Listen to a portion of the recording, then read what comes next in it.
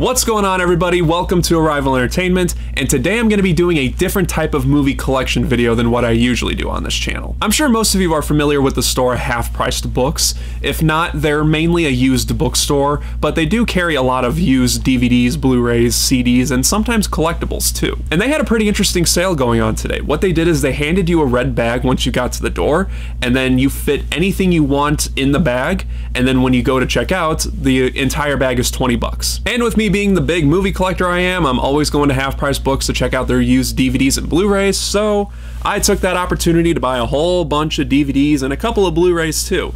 So that's what this video is going to do. I'm going to go over some of the DVDs and Blu-rays that I got in the collection. I thought about doing some videos like this when I have like big collection hauls like this that I do one day. Maybe I'll do a video on it just to keep the content interesting on my channel. With that being said, let's check out what I got at Half Price Books. I should note that there are some movies in this bag that I've heard aren't very good, but I do want to see them in one point or another. So just keep that in mind when I'm going through these. I know some of these movies that I have in here aren't well received movies, but they are movies that I do want to see in one point or another. So like I said, let's get started with the Blu-rays first. I only got a couple of Blu-rays because their Blu-ray section was completely uh, gone through. They only had like a small handful of Blu-rays left, so I found a couple that I really wanted, and the first one I got is 101 Dalmatians 2. I'm not going to spend a whole lot of time on these movies because I got like 22 movies to go through, um, but I remember seeing this as a kid and I remember really enjoying it. I picked up Salt. I've been wanting to check this movie out for a while, and it's still in the plastic. I don't know if you could tell, but it's still in the plastic, which so I thought that was pretty cool. Uh, I picked up Exodus, Gods and Kings. Uh, I think my dad wanted me to check out this movie, and I wanted to check it out for a while, and I finally found a copy of it. And the last Blu-ray I got is, uh, you know what? I'm not going to apologize for this. I'm a big fan of Katy Perry. I've been a fan of her music ever since I was in high school. I think she's a really cool person. So I found Katy Perry Part of Me, the movie, at Half Price Books. I've never seen this. I wanted to see it back when I was in high school, and I never did. Yeah, screw it. I like Katy Perry. I don't care. I'm not afraid to admit it. So those were my Blu-rays. Like I said, I didn't get a whole lot because their Blu-ray section was really cleaned out. So the rest of these are all DVDs. And like I said, they're all movies that I want to check out eventually. But we're starting with A History of Violence. I've heard a little bit about this movie and it sounds pretty cool. I'm a big fan of Viggo Mortensen and David Cronenberg, so I found that. Oh man, Napoleon Dynamite. I remember I remember watching this in high school, but I don't remember a whole lot about it. And I just never owned it until now. Plus, look at that slipcover. That's pretty cool. This, the slipcover is honestly the reason why I bought it. I think that's pretty cool. Uh, I got Deep Impact. I don't. I don't think I've ever seen this movie. It's uh, like a late '90s, yeah, late '90s disaster movie, and I just saw it and I was like, okay, I'll put it in the bag. I want to check it out. And starting with the movies that I heard are really bad, but I do eventually want to see, I got the remake of The Fog. Now, I've seen parts of this, and it looks really, really bad. But, like I said, I want to check it out, and they had one copy of it, so the next one I got is Some Like It Hot. I got this because the new Marilyn Monroe movie is coming out, and I heard this was one of her best movies, so I wanted to check it out. And I'm not sure if this is on the Criterion Collection or not. I don't remember, but either way, I don't care. I got a copy of it now. Uh, next, I got Rebel Without a Cause. I've been wanting to get this movie for a while. I've been wanting to get uh, James Dean's movies because I've actually never seen any of his movies. I've seen his performance in a couple scenes here and there for from his movies, but I've never actually seen his movies all the way through. So I got that one. And the other one I got of his is East of Eden. And again, I've never seen this one, but I, I got Rebel Without a Cause, so I might as well get that one. Okay, next one I got, another one I heard not too many good things about, but I was gonna watch this one in high school with a buddy of mine, but we ended up not watching it. That's Land of the Lost. I'm not expecting this movie to be good. I just, I wanted to see it, and I've been waiting since high school to see it, and I never got around to seeing it. I got the original Cabin Fever, and I had to make sure this was the original because unlike the Fog remake, where I am interested in seeing that, even though I heard it wasn't that good, I'm not interested in the Cabin Fever remake. So, but I looked it up, this is the original version, and another cool lenticular slipcover. It's pretty cool, I like that. Alright, what do we got next? Ooh, we got Matchstick Men, which I heard is on Blu-ray, but like I said, this was part of the sale and I had to fill up the bag, so I thought, sure, widescreen version. I've seen a lot of full screen versions of this, and that's the thing that I, about me. If I'm gonna buy a DVD now, I'm not gonna buy a full screen version because that just looks terrible on my 1080p and 4K TVs. But finally found a widescreen version. I heard that's one of Nicolas Cage's best movies, so I'm excited to check that out. Okay, this next one I am gonna I'm gonna try my best to describe why I bought it. Uh, it's a really really stupid comedy. Uh, I bought The House Bunny on DVD. God. So I watched this movie a lot when it came out. It came out in what 2008?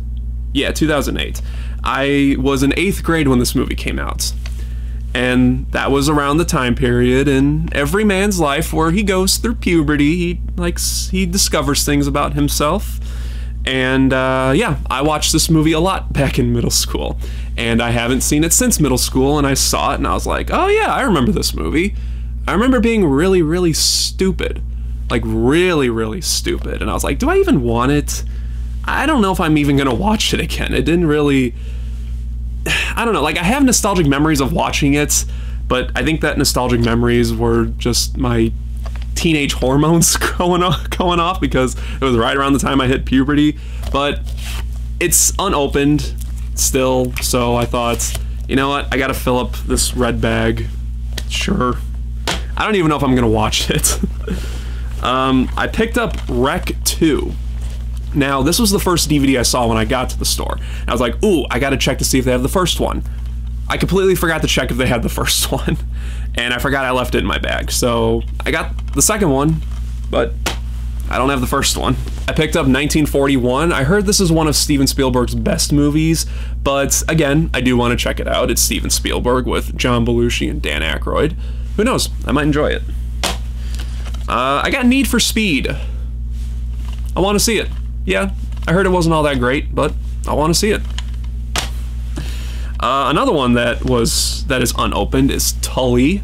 I was gonna buy this when Family Video was closing. They had a few copies of Tully, but I never got around to getting it, and then they closed down, and I've never been able to find a copy ever since then. But I found this at Half Price Books, and it's still in the plastic, which I thought was pretty cool. I'm a big fan of Charlize Theron, so I'm immediately like, yep, okay, I'm interested. Everything she does, that I've seen at least, is really great. Okay, we got DuckTales Volume 1 and DuckTales Volume 2. Oh my gosh. I watched a lot of DuckTales when I was a kid, and I gotta get more episodes of the original DuckTales. I have a couple DVDs of DuckTales of the new show, which aren't that bad. I have seen those two DVDs, and it's pretty good. I like, I do like the rebooted version of DuckTales. Um, but I got to get some more of the original show on DVD eventually because oh man, when I saw these, I I was just like, oh my gosh, they got Ducktales here. So yeah, really glad I got those. And lastly, another nostalgic movie from I forgot when this movie came out, but I want to say fifth grade, fifth grade, sixth grade, something like that. I don't remember, but it's The Adventures of Sharkboy and Lavagirl in 3D. Really, pretty bad movie.